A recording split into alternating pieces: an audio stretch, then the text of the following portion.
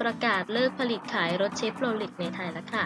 ปิดฉากรถเชฟโรเล็กทุกรุ่น เมื่อวันที่ 17 กุมภาพันธ์ได้มีรายงานข่าวแจ้งว่า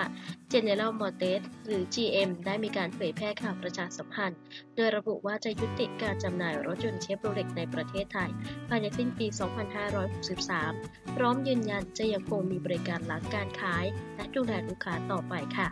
สำหรับทางด้านของนายแอนดี้ดันสแตน ประธานกรรมการตลาดเชิงกลยุทธ์พันธมิตร และผู้แทนจำหน่าย GM International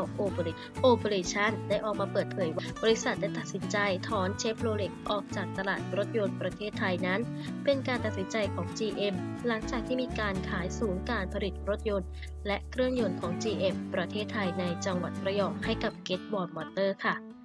ซึ่ง GM ก็ทราบดีถึงผลกระทบที่จะมีต่อพนักงานและคู่ค้าของเรา